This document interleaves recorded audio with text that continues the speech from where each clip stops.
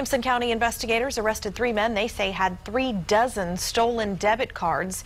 David Butler, Torian Johnson, and Jacob Byers face charges of engaging in organized criminal activity.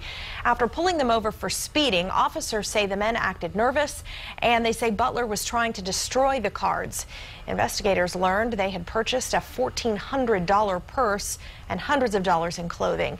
They told authorities they bought the stack of cards in their home state of Georgia for about $400.